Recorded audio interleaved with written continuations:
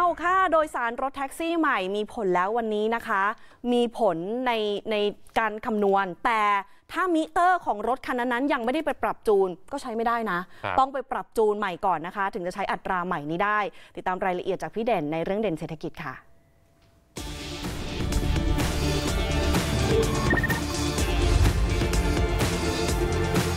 สวัสดีครับท่านผู้ชมครับ 16นาฬิกา32 นาทีนะครับ เรื่องเด่นเศรษฐกิจกับเด่นบัญชาจุมชัยเวทครับ เราเดินทางกันมาถึงวันศุกร์กันเป็นที่เรียบร้อยนะครับ และศุกร์ 13 ในวันนี้สำหรับทางด้านคนขับรถแท็กซี่ ก็พร้อมนะครับสำหรับอัตราใหม่ แต่ก็ย้ำกันนะครับว่าที่สุดแล้วมีผลทางกฎหมายก็จริง แต่ว่ามิเตอร์ต้องไปรับการปรับจูนและตรวจโดยกรมการขนส่งทางบก ซึ่งจะตรวจในวันจันทร์ เพราะฉะนั้นเสาร์อาทิตย์นี้ถ้าคันไหนเรียกราคาสตาร์ทเกิน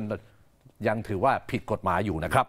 สำหรับอัตราค่าโดยสารแท็กซี่ใหม่ตามประชาตามประกาศของกระทรวงคมนาคม ซึ่งลงประกาศในราชกิจจานุเบกษา และมีผลใช้ในวันนี้นี่นะครับ ก็ย้ำกันอีกครั้งนะฮะสำหรับรถแท็กซี่ขนาดใหญ่หรือว่าแวน 3 ตอนอัตราเริ่มต้นสตาร์ทเป็น 40 บาทนะครับแท็กซี่ทั่วไปราคาสตาร์ทยังเท่าเดิม 35 บาท จากนั้นปรับขึ้นตามระยะทาง 10 กิโลเมตรแรกขึ้น 1 บาท เป็นกิโลเมตรละ 6 บาท 50 สตางค์ครับ และตั้งแต่กิโลเมตรที่ 10 เป็นต้นไป ปรับขึ้นกิโลเมตรละ 50 สตางค์และเกินกว่า 80 กิโลเมตรขึ้นไป คิดกิโลเมตรละ 10 บาท 50 สตางค์ครับทีนี้กรณีรถติดคิดนาทีละ 3 บาทจากเดิมบาท 50 ตังค์เรียกผ่านแอปพลิเคชันบวกเพิ่มอีก 20 บาท แท็กซี่สนามบินเพิ่มอีก 50 บาทนะครับทั้งนี้จะมีผลบังคับใช้กับรถแท็กซี่ที่จดทะเบียนในกรุงเทพมหานครเท่านั้น เพื่อให้สอดคล้องกับสภาพเศรษฐกิจและสังคมในปัจจุบัน และนับเป็นการปรับขึ้นครั้งแรกในรอบ 8 ปีผ่านมานะครับ ขณะที่ว่านายวรพลแกมขุนทศประธานที่ปรึกษาสมาคมวิชาชีพผู้ขับขี่รถยนต์สาธารณะแท็กซี่ บอกว่าอัตราค่าโดยสารใหม่เนี่ยถ้าคิดเป็นเปอร์เซ็นต์นะฮะ ก็ขึ้นเพียงแค่